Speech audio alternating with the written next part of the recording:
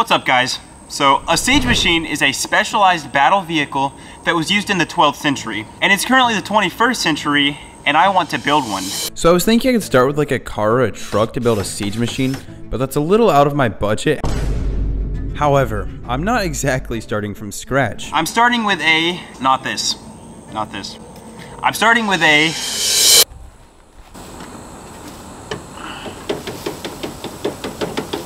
Yep, I'm starting with a tractor, and considering this thing's already falling apart, all I can really do is hope that it makes a good siege machine. So first thing we need to do is figure out if this thing's gonna run. All right, so first step to that might be to figure out, yes, it spins. I kind of already knew that it spins. Oh my gosh, that oil is so clean.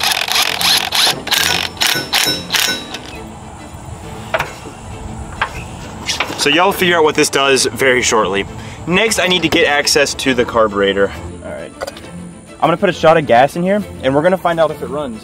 So we're just gonna put a tiny bit of gas in here. And that's really all we need to find out if it runs. Okay, whoa, that was quite a bit. And this, this is what we call a pull rope. I wrap it around here. And then we give it a good pull and hopefully it'll start up.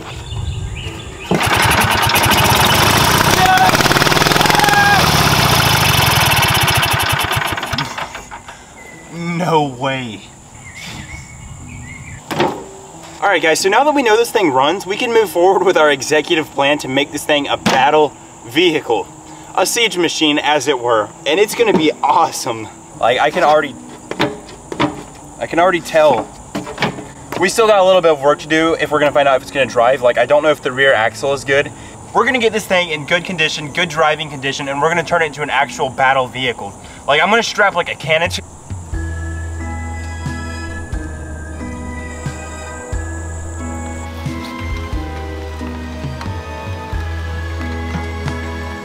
Not ideal.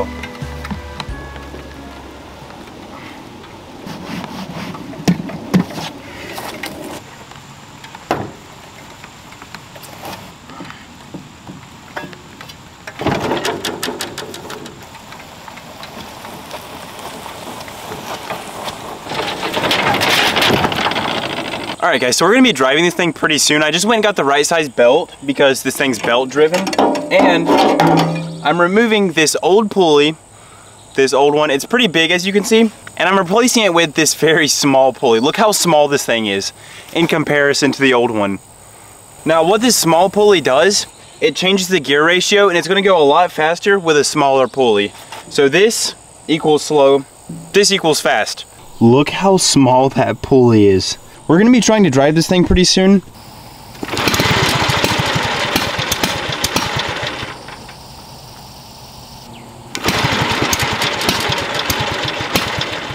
What the heck is going on here?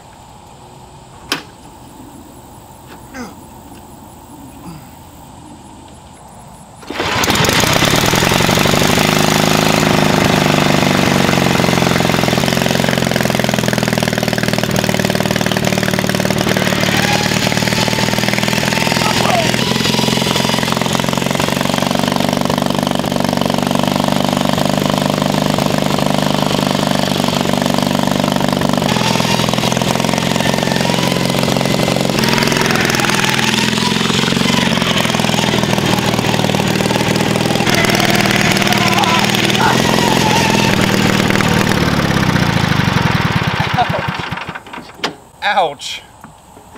That was too fast for the seat. This hurts. And it goes a little a little fast for my liking.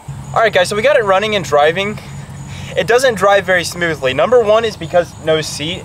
It's also got some things that we got to work out. Like for example, the gas line is right next to the exhaust, which not a good design on my part. All right, so it's the next day, and I recorded this whole part where I was like explaining, but it was really long and the audio was really bad. So, to give you the basic plan, I'm turning it into a ramming style siege machine. We're currently 0% done turning it into a siege machine. So I started working on one of the most important parts of the build. It's basically the base and the mount to the ram that we're going to build. Oh yeah.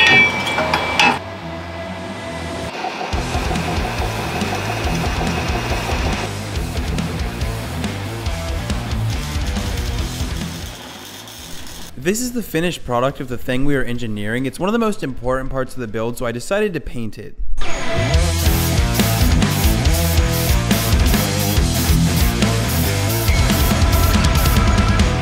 Alright guys, so I'm about to put this back on the mower. This is one of the most important parts of the build because it's going to be holding on the front bumper thing.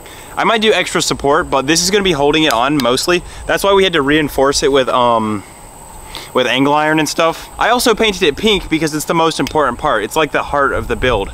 Also, I don't discriminate against pink. However, I do discriminate. All right, so this is what I got so far.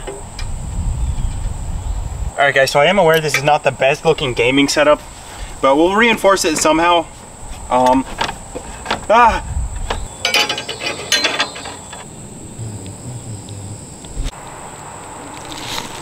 All right guys, now that we got the base of the front bumper built, it's time to start building the actual, the ram.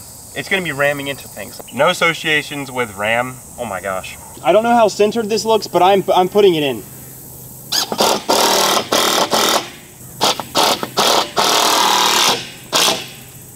Oh yeah. Whoa, that's way too tall. It's blocking the drivability a little bit, but that's fine.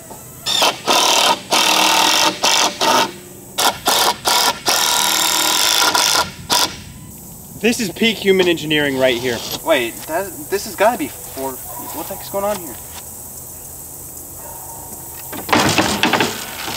That's getting. Oh my gosh. This is gonna help.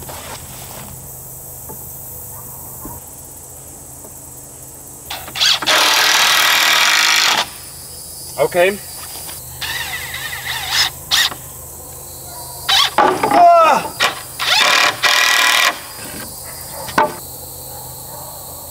Where did we go wrong? Alright guys, so it turned out not very good at all. I have some plans as of how to reinforce it, so I'll probably do those tomorrow. Alright guys, so I kind of left yesterday out of shame because... Anyway, now I'm tasked kind of by myself, but I gotta reinforce this thing somehow. All right, so I've got a bunch of good ideas in terms of reinforcement. Okay, something like this might work. Oh my gosh, that looks...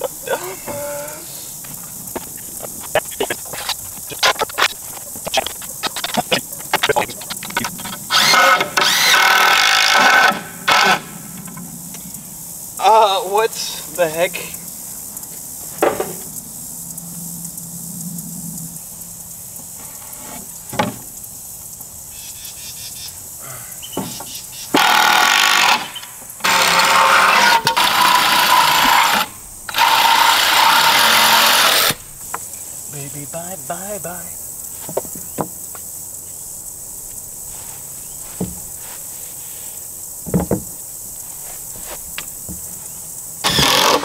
All right, guys, so this is how she looks right now. Um, I'm about to give it a test drive, so I gotta figure out got gas and stuff.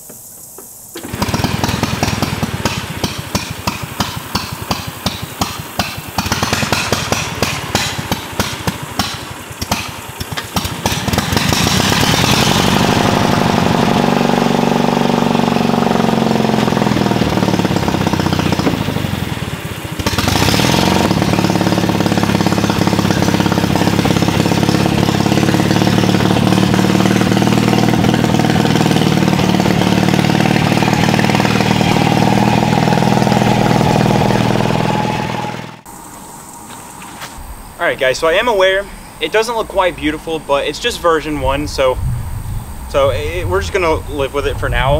Um, but we got a few tests we're gonna put it through. Number one is the speed test, and after that, we're gonna test it against some walls because it is a ramming style siege machine. We gotta take down some walls. All right, guys, I'm about to go for a speed run. Um, this is gonna be kind of sketchy because I haven't tried to go very fast on this mower yet, but we're doing a speed run. I have a speedometer app, so we're gonna see how exactly how fast it's gonna go. Um, I hope it doesn't fall apart while we're driving it because we still got more tests to do other than a speed run.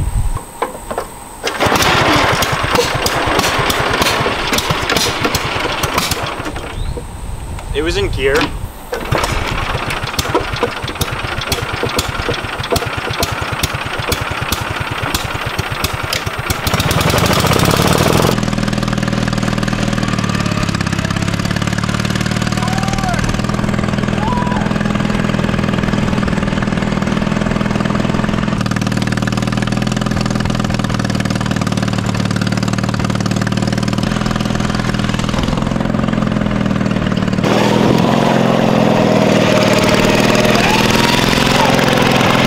Guys, so during this really bad donut, my phone fell out of my pocket, and it looks like I or someone else ran it over, but this is just confirmation that I'm an idiot.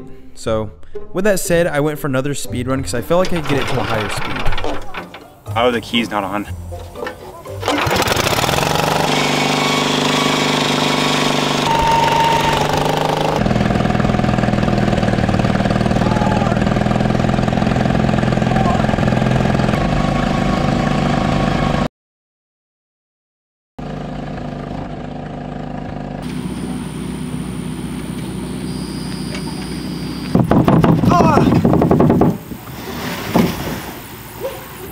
We can do this. Let's go. All right, guys, what a successful speed run. 17 was the max. It was a little sketchy. It was making some weird noises, but 17 is still very successful. Um, so yeah.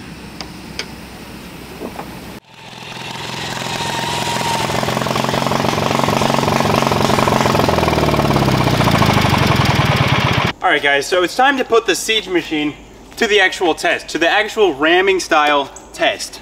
We're gonna ram into all three of these walls and see which one it does the most damage to. Every wall gets stronger and stronger, so I don't even know if it's gonna make it past the second wall. I'm pretty sure it can do the first, the first, level one, easy. If this is wall level one, I'm, it's definitely making it through this wall. But this wall is a lot stronger and I'm pretty sure it's not making it through this one. But this one, there's no shot it's getting through. I mean, there's a chance, we're still gonna try, but it, it's not getting through this wall. All right, guys, it's time to see if it's making it through all of these walls.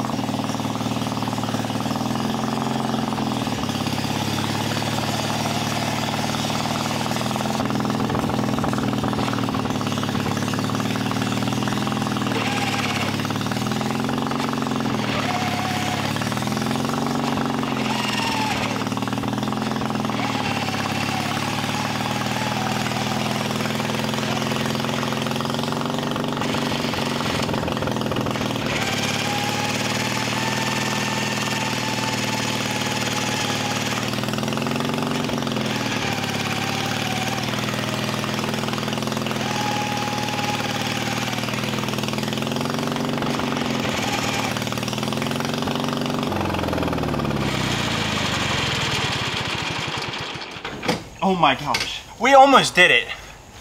We almost made it through the brick wall, which I was certain we weren't going to do. It just took a couple rams.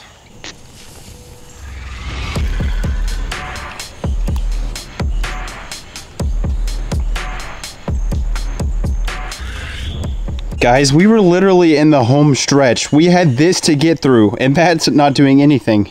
Guys, so I see where things went awry. Um, as you can see, this got disconnected and went into the ground. There's the screws that it was at. Um, if this didn't happen, we probably would have made it through. All right, guys, so this might be the Siege Machine's final resting place. Um, I know it was built like garbage, but I'm not no engineer of any sort. I know that was double negatives, but I'm, I'm really not. So I guess that wraps up the Siege Machine for now. Um, go follow me on Instagram. I'm trying to reach a thousand followers, and I'll see you guys very soon. This is Infernox, over and out.